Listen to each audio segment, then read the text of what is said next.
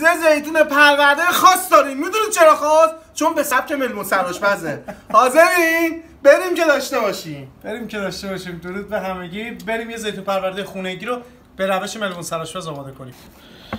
خب زیتون بدون حسه داریم. به ظرف اضافه که جعفری گشنیز و نعنای تازه هم خورد می‌کنیم.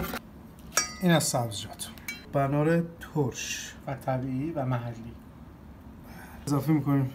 یه مقداری هم رب آلوچه. یه قاشق هم رب نارنج اضافه می‌کنیم. اندازه دو تا قاشق سوپ خوری روغن زیتون اضافه می‌کنیم. گردو آسیاب شده. کمی گلپر فلفل قرمز سیاه. کمی نمک.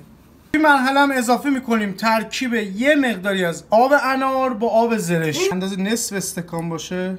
کافی. خب اینا خوب با هم دیگه ترکیبش می‌کنیم. یه مقدارم دونه انار سیاه. پاشو بیا پاشو بیا تستر کپل ببین چه زیتون پرور بیا تستر کپل ببین چطور شد این زیتون پرورده. گردوش اندازه؟ همیشه اندازه. فقط نوری فرقش چیه با بیرون؟